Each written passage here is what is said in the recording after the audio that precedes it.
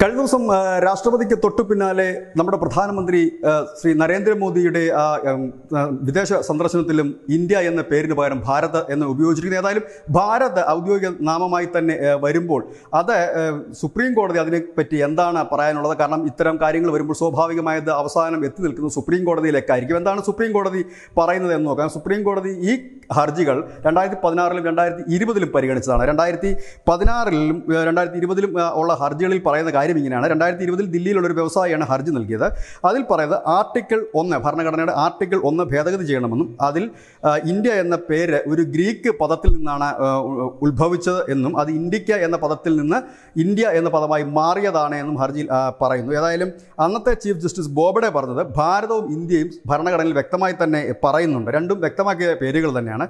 India Bharat എന്നാണ് ഭരണഘടനയിൽ എല്ലായിടത്തും പരാമർശിച്ചിരിക്കുന്നതും.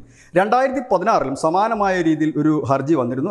അവിടെയും ഇന്ത്യ എന്ന പേര് മാറ്റി ഭാരത് എന്നാക്കണം. ഇല്ലെങ്കിൽ കോളനി സംസ്കാരം പേറി ഒരു സമൂഹം കാലങ്ങളോളം ജീവിക്കേണ്ടി വരുമെന്നാണ് ഹർജിക്കാരൻ അന്ന് പറഞ്ഞത്. അന്ന് സുപ്രീം കോടതി പറഞ്ഞത് ഈ രാജ്യത്തിന്റെയൊക്കെ പേര് മാറ്റുന്നത് സുപ്രീം കോടതിയുടെ ഈ പരിഗണനയിൽ ഇല്ലെങ്കിൽ സുപ്രീം കോടതിയുടെ ആ ഒരു ചുറ്റുവട്ടത്ത് വരുന്ന കാര്യമല്ല. അത് രാജ്യമാണ് തീരുമാനിക്കുന്നത് എങ്ങനെയാണ് എന്നുള്ളത് എന്ന് പറഞ്ഞിരിക്കുന്നു. ഏതായാലും ഭാരത് എന്നുള്ള പേര് ഇപ്പോൾ പുനർനാമകരണം ചെയ്യുകയാണ് എങ്കിൽ അത് കേന്ദ്ര സർക്കാരിൽ മാത്രം നിക്ഷിപ്തമായ ഒരു കാര്യമാണ്.